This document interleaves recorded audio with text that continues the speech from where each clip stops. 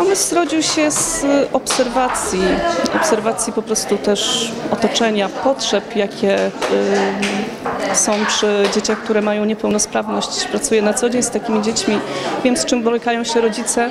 Stąd wziął się pomysł y, tego całego projektu. Jeszcze nie mamy konkretnej diagnozy odnośnie e, Mikołaja, jednak on potrzebuje bardzo wspomagania inte- integracyjnego. I no dużo nam da takie zajęcia. Rozwiną go na pewno. On już ma skończone dwa lata i widać, że potrzebuje takich zajęć. Będzie mógł doświadczać różnych przedmiotów, które ja nie jestem w stanie w domu mu sama tego zapewnić.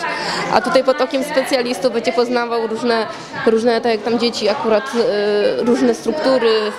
No po prostu cały świat, otoczenie. No dziś jesteśmy w ośrodku szkolno-wychowawczym w Głogówku, gdzie e, i Stowarzyszenie Za Głosem Serca e, realizuje projekt dedykowany osobom z niepełnosprawnością w różnym wieku. I to jest właśnie bardzo istotne, że oprócz tego, że element zdrowia, element usprawniania pojawia się tu jako bardzo istotny w zakupie tego sprzętu na prawie 90 tysięcy złotych, to jeszcze pojawia się ten element integracji, czyli można można zaprosić babcię z wnuczką, można zaprosić e, kogoś z członków rodziny, który chciałby się nauczyć, jak postępować właśnie z jakąś dolegliwością. To jest dla mnie bardzo ważny projekt, który wychowuje, który kształci.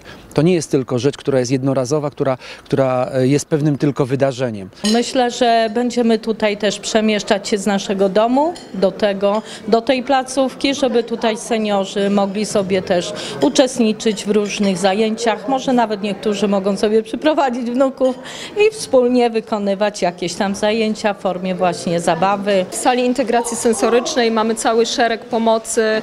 E, Korzystamy nawet z takich naturalnych właśnie produktów typu mąka ziemniaczana, mąka y, kukurydziana, olejki zapachowe i staramy się y, wszechstronnie stymulować rozwój dziecka. W ogóle dostarczenie różnego rodzaju bodźców integrują cały układ nerwowy, także to jest bardzo ważne. W sytuacji, gdy i dzieci, i starsi rehabilitują się razem, przyglądają się sobie także i jest szansa wtedy na lepsze postępy tej rehabilitacji.